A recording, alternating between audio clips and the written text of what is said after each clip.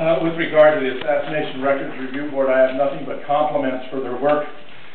It was, uh, very thorough and painstaking, the disadvantage being they don't know how much material was there to begin with, and therefore they would not know how much would remain after their heroic efforts. But, uh, I am in awe of Judge Tunheim, whose integrity and dedication to this project was instrumental in making it a success.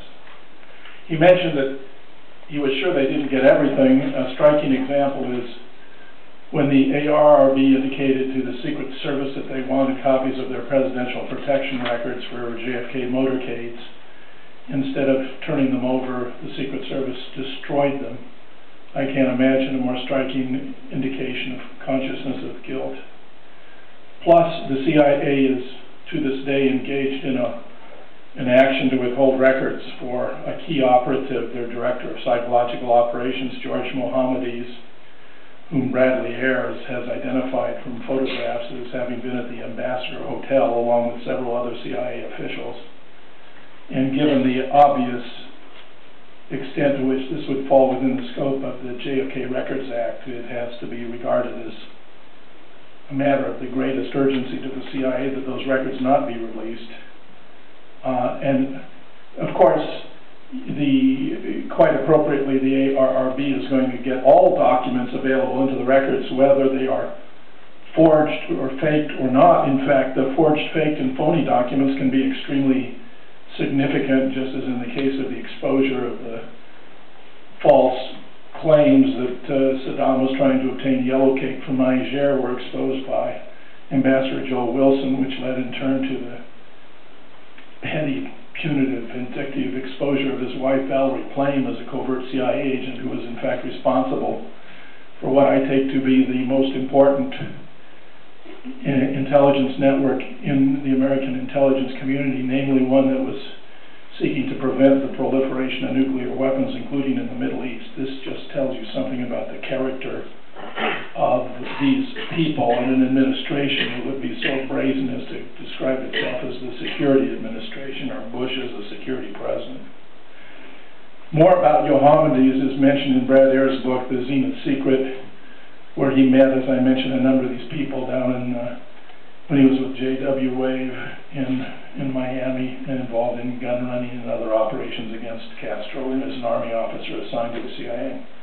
Important book and together with a lot of other pieces of the puzzle. As far as Gary and John's work is concerned, I think it's terrific they're pursuing this. It's entirely possible that the Zapruder film may have been reworked after it came into the possession of Life magazine. For example, Dan Rather reported after viewing the, the film on uh, Saturday morning after the assassination that Jack Kennedy fell forward. When the, the extant version of the film, which you've seen here, was finally shown uh, in 1975 when Robert Groden and Dick Gregory got it onto Geraldo's program. He was widely ridiculed because this back and to the left. But as David Mantik has observed, uh, none of the witnesses reported that back and to the left. And uh, Dan Rather may very well have been right that Jack fell forward. In fact, my take is after being hit in the back of the head, he fell forward. Jackie eased him up, was looking him right in the face when he was hit in the right temple with that frangible exploding bullet.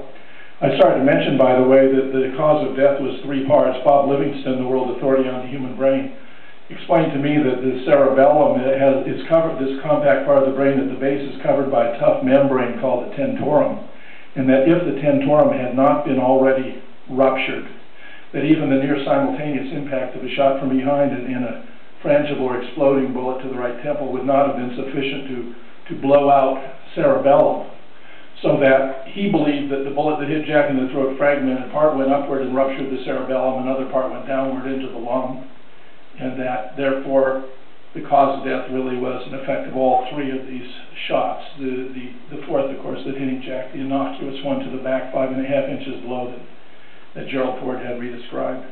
John uh, Armstrong has done a huge amount of work on Harvey and Lee. His theory is almost preposterous on its face because he describes two persons having parallel lives with similarly named mothers and all this stuff, and it's, it's been very hard for me to appreciate to what extent he can be right about this, but he has a massive load of documentation to support it, and it can't be casually dismissed. That there are multiple imposters for Oswald is unquestionably true.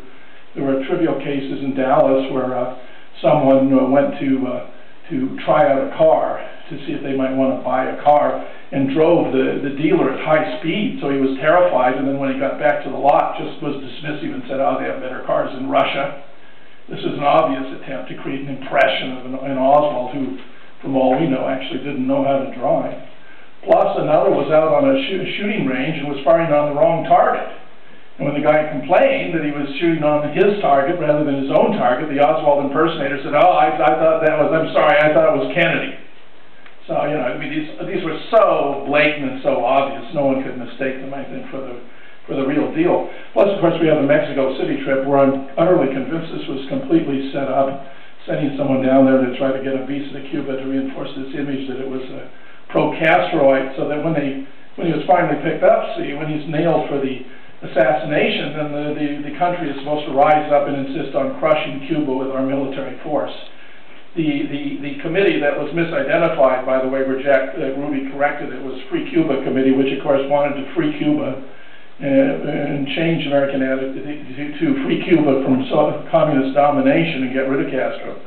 Whereas uh, Oswald was uh, handing out pamphlets for the Fair Play for Cuba Committee, which of course wanted the U.S. to have a more even-handed policy toward Cuba.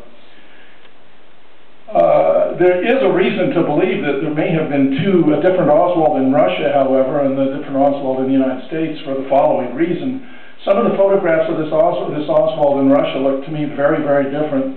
And this guy was reported to be a marvelous conversationalist. I mean, you get these two, these, these reports of this marvelous conversationalist, this guy who is fluent in literature, history, politics.